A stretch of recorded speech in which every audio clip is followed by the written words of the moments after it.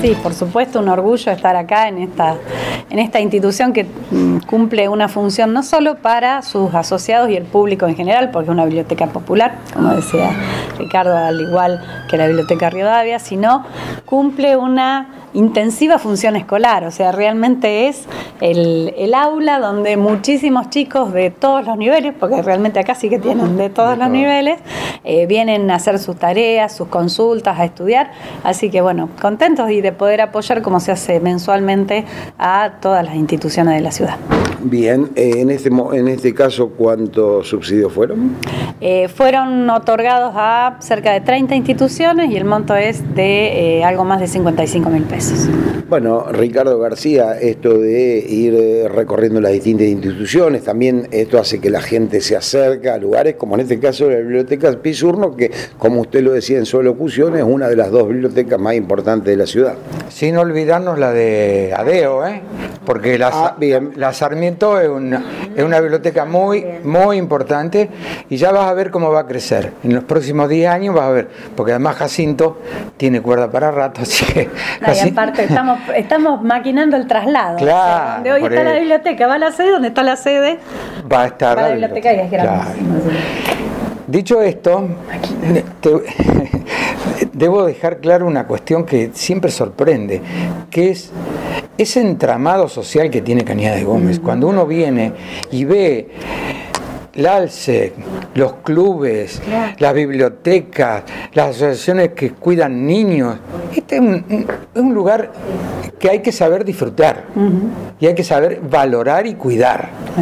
Porque independientemente de las inclinaciones políticas que tenga cada uno, o partidarias que tenga cada uno, no, no se puede ser negado en no ver esta realidad, que se construyó en la historia de Cañada, pero que es difícil sostener. Entonces le pedimos, a ver, al ciudadano común, que se, que se acerque a las instituciones, son, son de todos.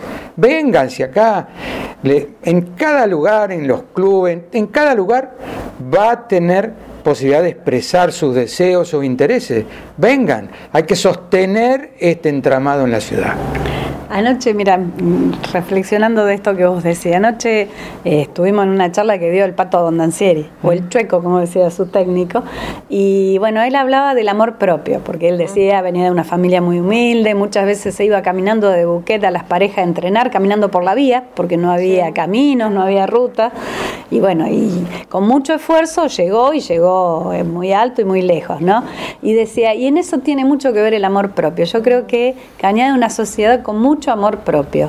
Por eso a lo mejor de tener 300 fábricas de muebles pasamos a tener 20 y ahora volvimos a tener 150 más grandes, más equipadas. Digo, eso como un ejemplo de tantas cosas. Entonces, es ese amor propio el que de alguna manera nos inspira y hace que nos sintamos muy orgullosos de la gente y de estas instituciones que trabajan en red.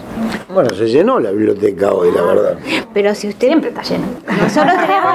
Pero, pero, hoy con más entusiasmo. Es hermoso pasar a la mañana, a la tarde y a la noche y verla toda colmada de niños, jóvenes, adultos, gente grande que viene a buscar su novela, su es hermoso. Esto es realmente algo que nos enorgullece a todos poder trabajar y estar en una ciudad tan importante.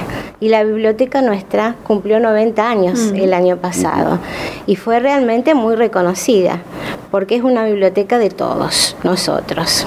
Bueno, un poco vamos conociendo entonces también un poco más de las instituciones intendentas, no sé cuál será la próxima, así que ya lo tienen decidido, lo van decidiendo. Sí, sí, ya quedamos que es el día 8 de julio, miércoles 8 de julio, miércoles, ¿sí?